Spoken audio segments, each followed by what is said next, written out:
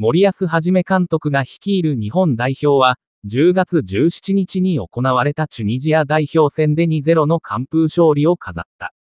これで直近6連勝と好調の森保ジャパンの強さに、同じアジアの韓国メディアも反応を示している。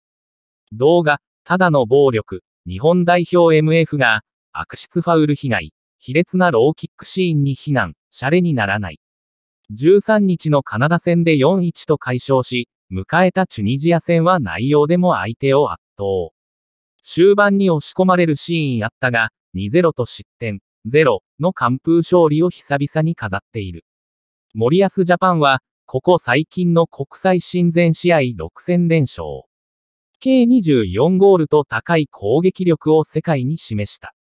韓国メディア、マイデイリーは、イギリスファンが日本の強さに感銘を受けた SNS コメントに注目。日本が史上最高のチームになっていることを実感。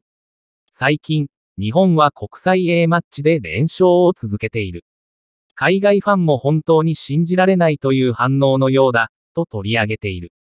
最近の日本代表の活躍は本当にすごい、と記事では日本の直近の試合を振り返った。日本は6月にエルサルバドルを6-0で破った。その5日後、エルサルバドルは韓国代表と1対1のドローに終わった、と母国との差をピックアップ。さらに、9月の A マッチでドイツに勝ったのは本当に衝撃的だった。と、監督構想までドイツ代表を追い込んだ9月の試合にも言及している。